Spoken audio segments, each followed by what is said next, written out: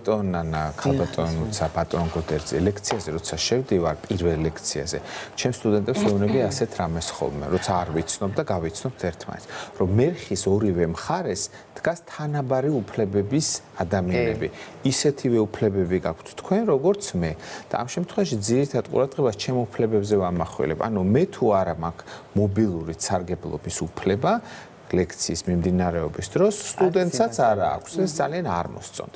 მოკლედ სოციალურ ქსელში დიდი მოწონება დაიმსახურა ვიდეომ, სადაც ბორჯომის ნომერ პირველი საჯარო სკოლის მოსწავლეები გაკვეთილზე მობილურ ტელეფონებს სახელობით სპეციალურ ყუთში ათავსებენ. იდეა მეშვიდე A კლასის მოსწავლეებსა და მათ პედაგოგს ნინო გოგოლაძეს ეკუთვნის. ჩვენი გადამღები ჯგუფი იმყოფებოდა ბორჯომში და სიუჟეტი მოგვიმზადა ამ თემაზე, რამდენად საინტერესო და აქტუალური გახდა საკითხი, რომ აი ესეთი ერთი დიდი ტელეკომპანია როგორიც არის იმედი რომ მობილურით არ უნდა ვისარგებლოთ ამის შესახებ სიუჟეტს ამზადებს მართლაც შესანიშნავი ინიციატივა და მოდით ნახოთ ეს სიუჟეტი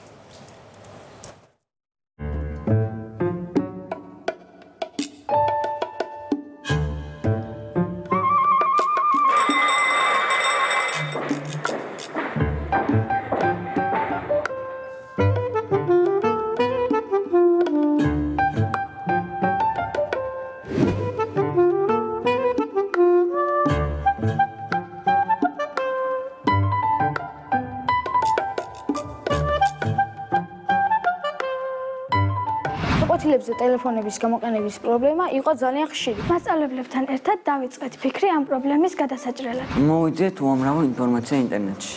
აზრი ვკითხეთ მშობლებსა და მასწავლებლებს. მე შემთხვევა სოციალურ ქსელში მსგავსი ტელეფონების ყუთი. უაჩვენე ნინო მასწავლებელს და ძალიან მოეწონა ჩემი იდეა. დავიწყეთ დადუს იდეაზე ფიქრი და გაუმჯობესება. ის ყუთი არ იყო სახელობითი, ამიტომაც გადავწყვიტეთ მასზე სახელებისა და გვარების დაწერა. ჩვენ შევქმნით ნახაზი და უკავშირდით კომპანიას, რათა გაეკეთებინათ ტელეფონების ყუთი. მთელი კლასი მოუთმალეს ველოდით მის მოტანას. უკვე ორი კვირაა, რაც აქტიურად ვიყენებთ ამ ყუთს ტელეფონების შესანახად. ძალიან მოსახერხებელია, რადგან უსმათ პოულობს ჩვენს ტელეფონებს და საჭიროების შემთხვევაში გაკვეთილზეც ვიყენებთ. იმდენად მოგვეწონა, რომ გადაწყვიტეთ ეს იდეა სხვებისთვის გაგვიზიარებინა. თხოვეთ ნინო მასწავლებელს, რომ ვიდეო გადაგვიღო და გაგვერთსელებინა ინტერნეტში. დავამონტაჟე პატარა ვიდეო რგოლი, რომელიც ავტვირთეთ Facebook გვერდზე და მას ძალიან დიდი გამოხმაურება მოყვა. ის რომ თქვენ დღეს აქ ხართ ამ ვიდეოს დამსახურებაა.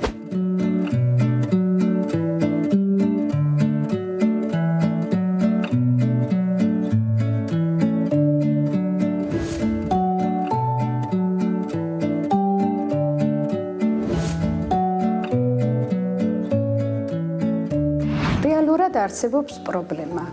ბავშვები არამიზნობრივად იყენებენ კომპიუტერებს, მობილურ ტელეფონებს.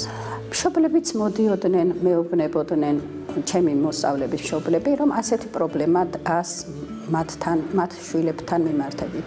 და მთხოვდნენ რაიმე ერთობლივი ღონისძიება, ჩავეტარებია, რაღაც ეთებია, რომ ბავშვებს ნაკლები დრო დაეთმოთ ტელეფონებისთვის. ნიშნავთ, რომელი იქნება პირველი დამწყები, შეგვიძლია მონეტარო.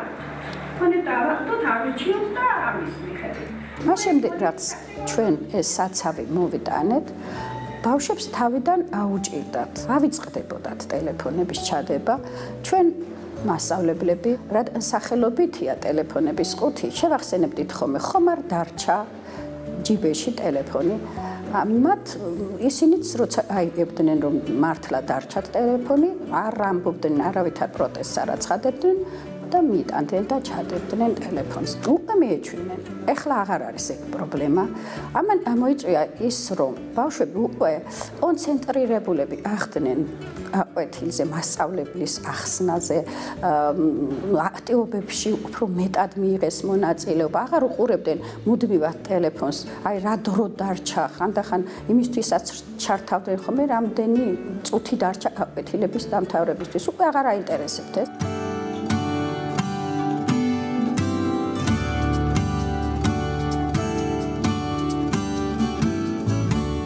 ჩვენმა ტვირთულმა ვიდეომაც ეს შედეგები აჩვენა, იმიტომ რომ იმდენად დაინტერესებული არის საზოგადოება, ეთყობა მსავსი პრობლემები ბევრს აქვს და უამრავი ადამიანი მირყავს მართლაც, რომ რატომ სად შეუყვეთეთ ეს ყუთი, როგორ მოვიდათ იდეა და ასე შემდეგ. ეს მიხარია, იმიტომ რომ მინდა რომ თუ რაღაც ჩვენ არ აკეთეთ ის აუზიაროთ სხვებსაც რომ ეს პრობლემა მარტო ჩვენ კლასში კი არა, მთელ საქართველოში და ყველგან სადაც საჭირო, ყველგან მოგვარდეს და მიხარია ძალიან.